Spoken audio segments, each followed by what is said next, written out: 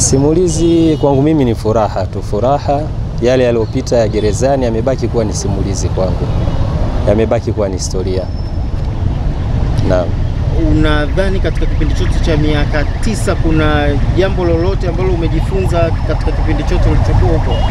Naam, yapo mengi ambayo nimejifunza, mengi sana. Naam. Kama Ah, Kwanza nimejua maisha ya watu wanaoishi gerezani.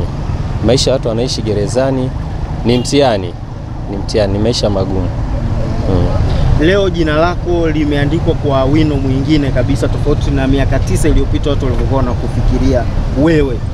Ni jambo gani, ni furaha gani ulionayo kuona kwamba ile tuma ulizokuwa unakabiliana nazo sasa hivi hazipo tena, ni raia huru? Ah, Kwangu mimi ni furaha, furaha kubwa.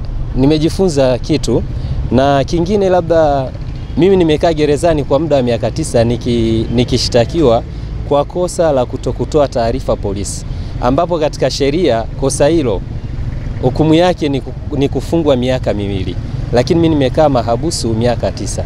Kwa hiyo inakuwa ni changamoto kwa watu ambao wanahusika na masuala ya sheria, inakuwa ni changamoto mtu kosa ambalo mtu anashtakiwa nalo anakaa miaka tisa gerezani, akati hukumu ya kosa la kutokutoa taarifa ni miaka miwili gerezani.